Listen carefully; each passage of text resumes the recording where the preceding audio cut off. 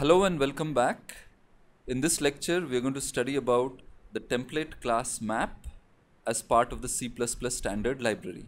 Here is a quick recap of some of the topics we have already studied and that are relevant to this lecture. We have been studying about object-oriented programming with structures and classes.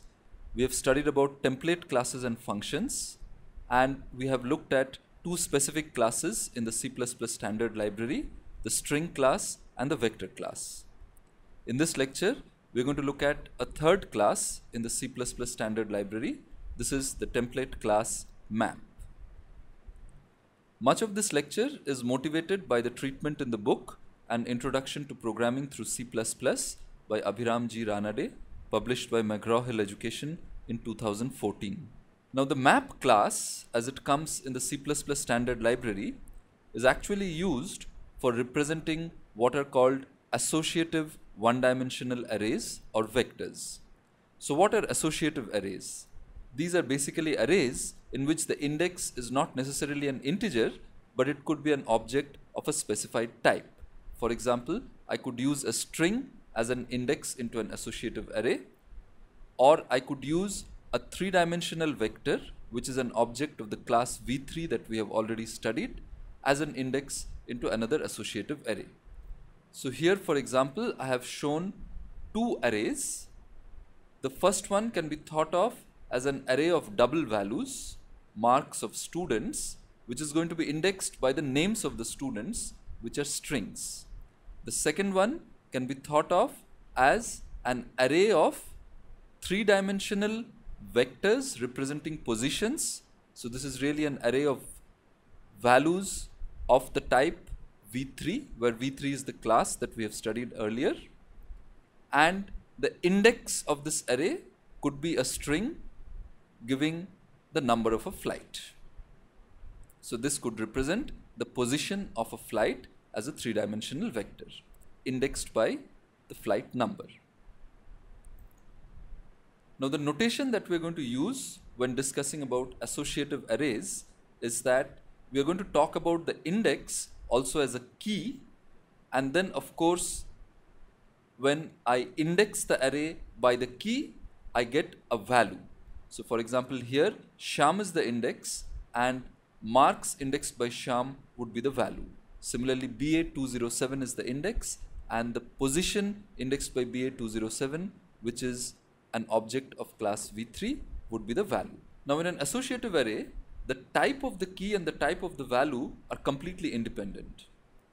So it is not necessary that the type of the key be related to the type of the value. But what is very important is that the key values must be ordered by a less than operator which could be defined by overloading the usual less than operator. We will see more about these in the subsequent slides. So the map class will be used for representing and manipulating associative one-dimensional arrays or vectors. This is actually a template class and can be instantiated with a type for the key and a type for the value.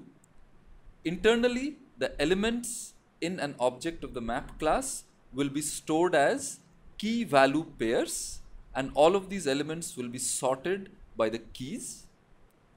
The internal representation of objects stored in a map class is really a binary search tree.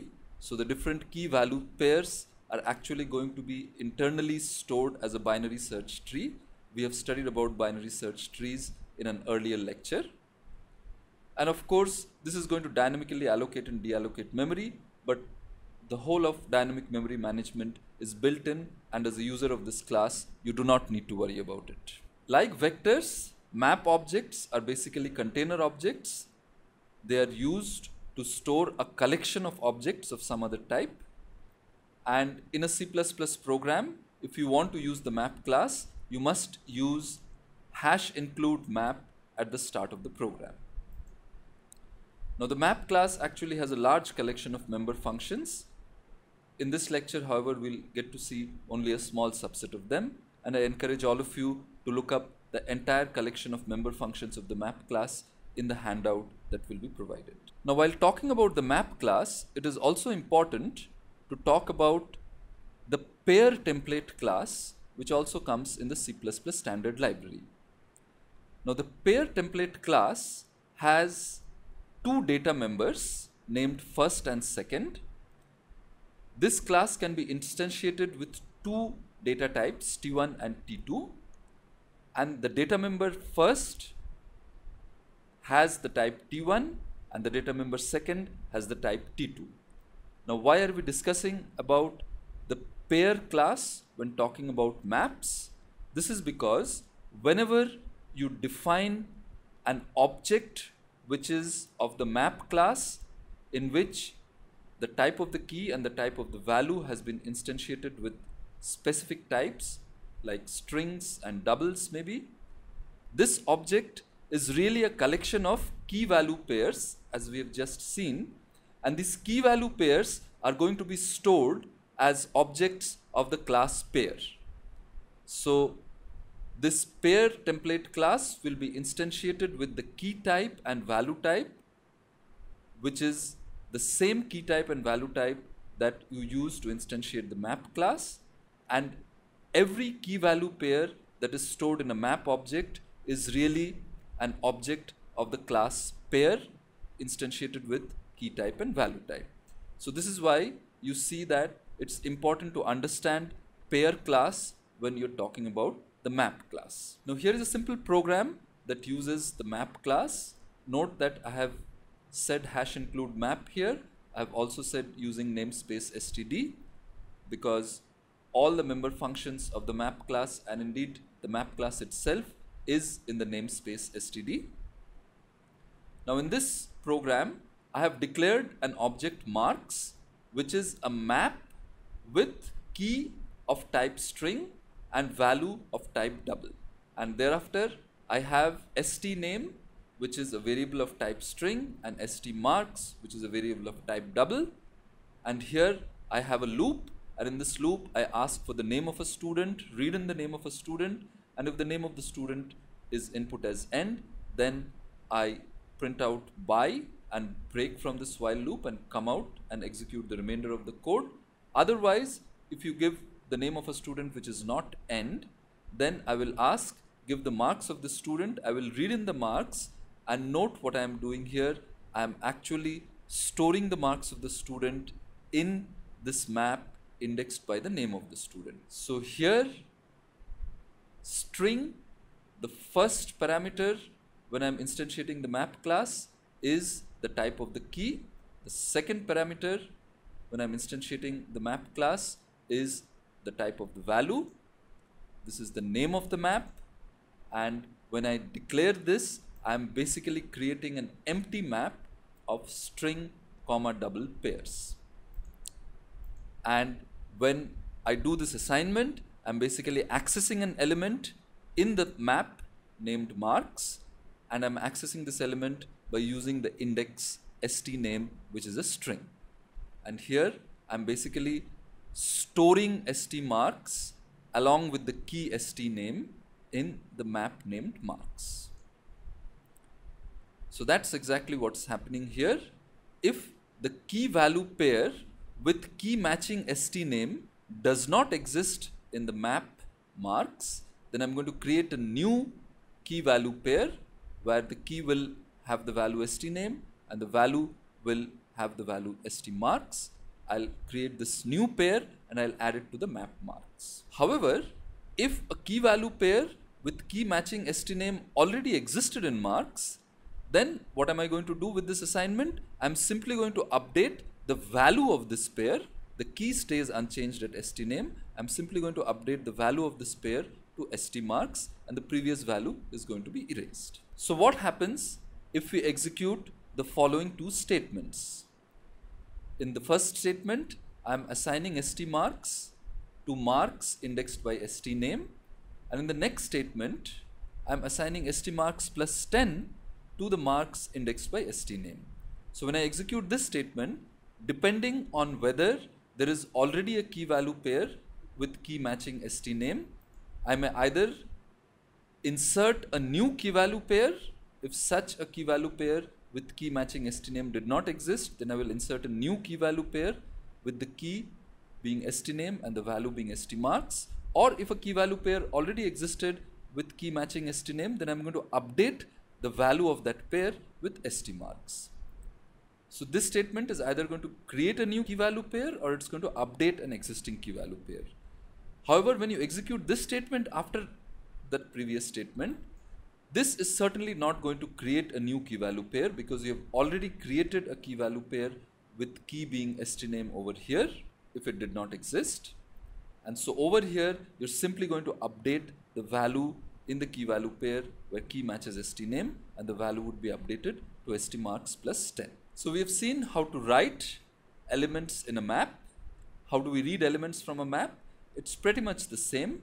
Here I have a program which looks similar to what we had earlier except that here I'm taking from the user the name of the student and instead of writing the marks of the student in this map indexed by the name of the student, I'm going to read out the marks of the student from this map indexed by the name of the student. So here is where I'm printing it out. I'm saying marks of the student is and I'm indexing the map marks with the name of the student which is a string and when I do this indexing I will get the value which is a double quantity and that will get printed out. Well, a few questions are relevant here that if the map marks already contained a key value pair where the key matched st name, then of course this will give me the value associated with that key. However, what if st name was say Abdul, but there was no key value pair with key matching Abdul in the map named marks, then what's going to happen? Well, the C++ standard says that in that case, if there is no key value pair with key matching Abdul, then in trying to read this, a new key value pair will be created. The key of that pair will be set to Abdul and the value of that pair will be set to whatever the default constructor of the value type returns. Now here the value type is double. The default constructor of double does not return any specific value for the object of type double. So it basically contains garbage.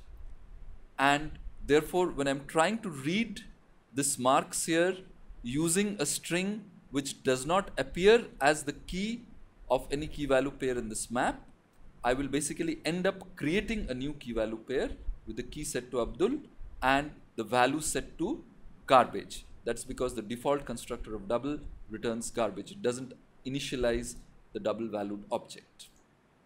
So here when I'm trying to read it out, basically this pair is first going to get created and then I'm going to read the value from that pair and therefore I will get garbage and that is what's going to get printed out over here.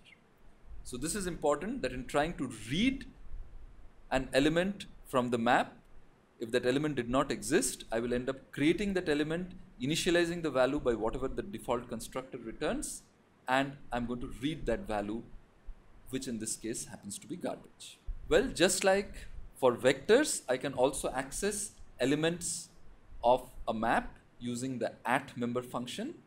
So I could say marks dot at stname instead of marks stname. And just like we had seen for vectors, there is a subtle difference between accessing an element in these two ways.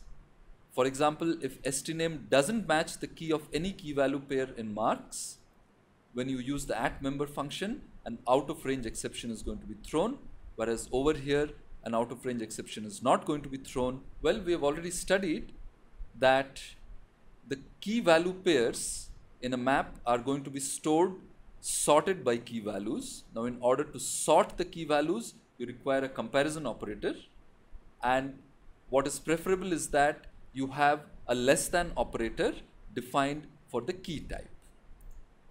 For example, when we said marks is a map where the key type is string and the value type is double, for the class string, the less than operator is already predefined in the string class.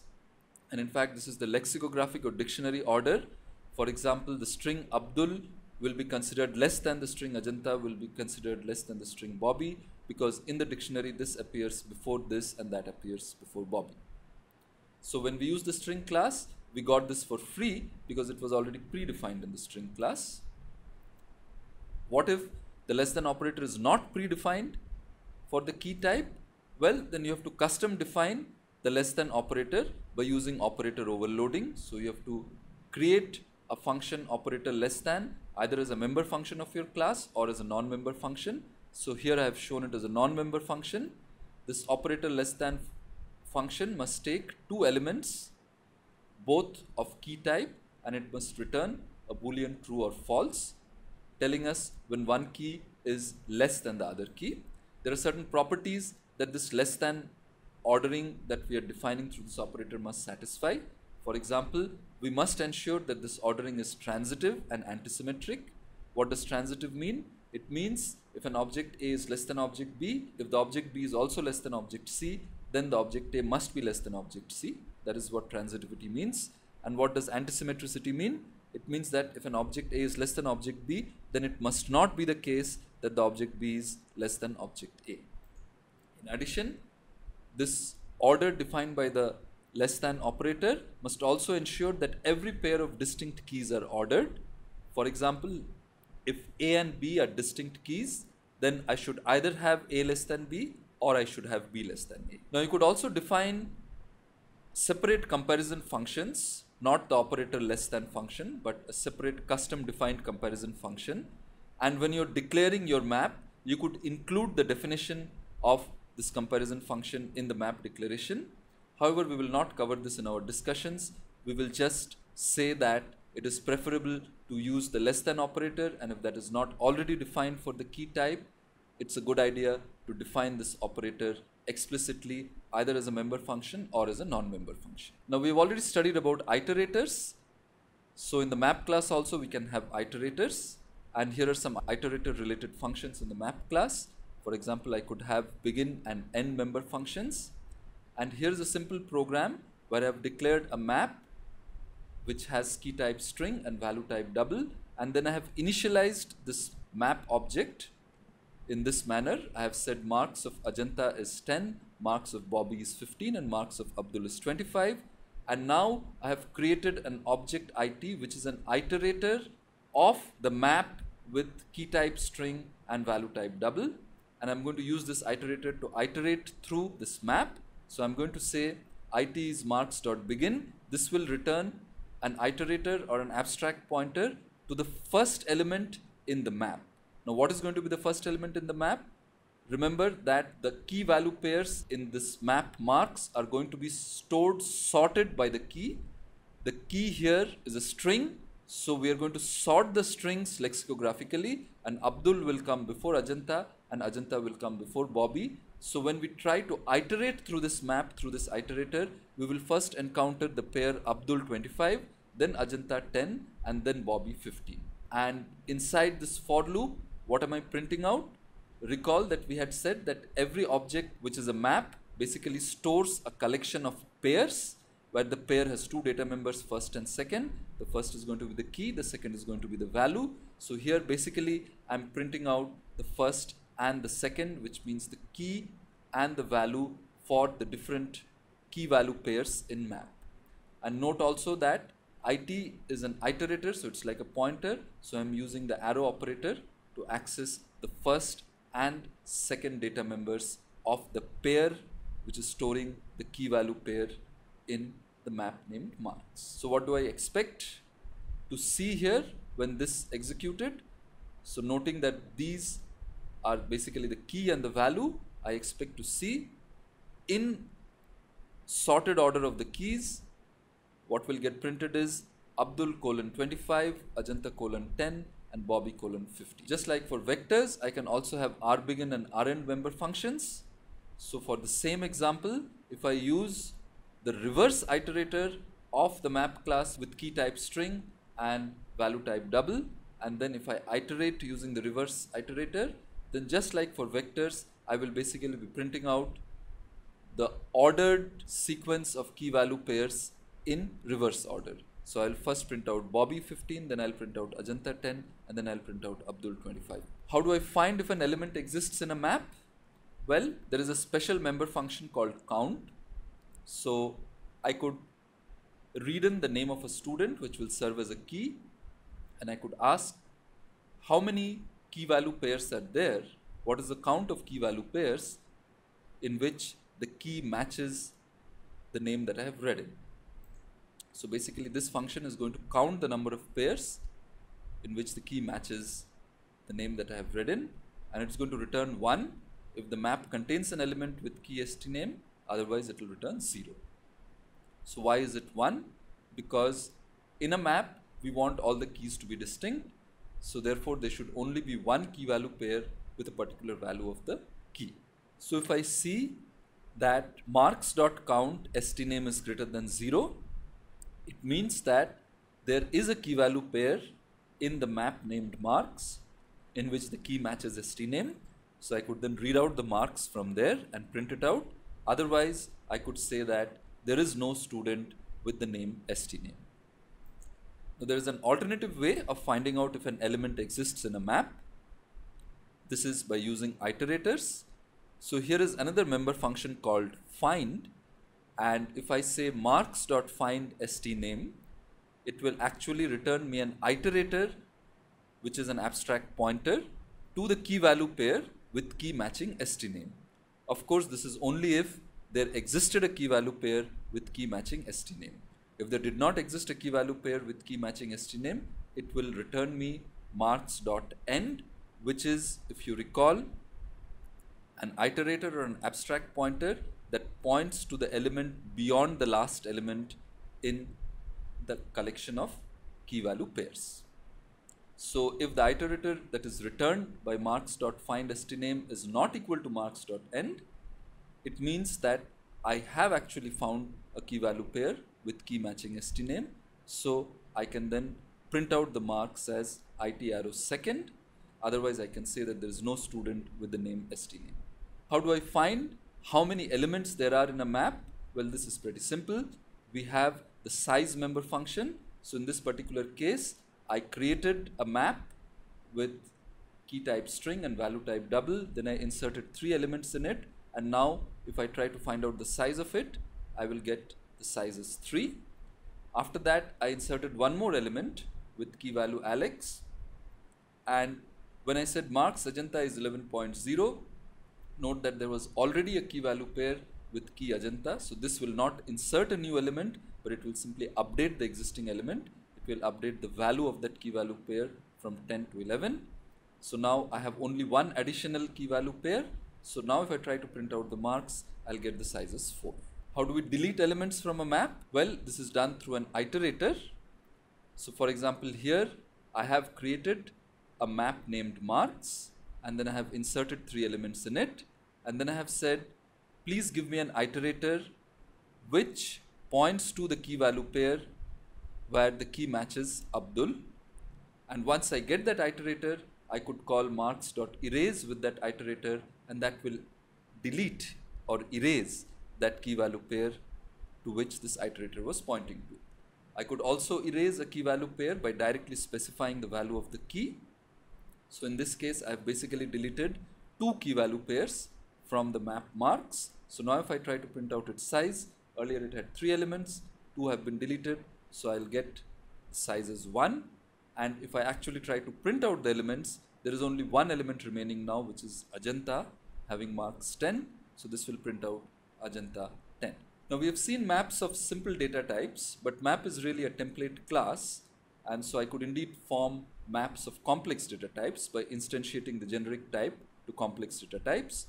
So here is an interesting example. For example, I could declare an object flight position, which is a map with key value string and data value v3, a three-dimensional vector. So given a flight name or a flight number as a string, this could return me the three-dimensional position of that flight. And here is another map which says timed flight position. Here given the name or number of a flight which is the key string here what it is going to return as a value is another map. And this map is going to take a key as double and it's going to return me a three-dimensional vector. So here given the name or number of a flight I'm going to get a map. And then in that map I could give the time and then it would give me the three-dimensional position of that flight. So note that I have used map double comma v3 as the type of the value within another map. And note also here that I need the space here because if I don't put the space, these two greater than signs will look like what I use when I read in values from the standard input. So it's important to put the space here, otherwise the compiler will complain. So in summary, in this lecture, we studied about the map class and its usage. However, we were able to study only some of its features. There are several more features and I encourage you to read about these from the handout. Thank you for your attention.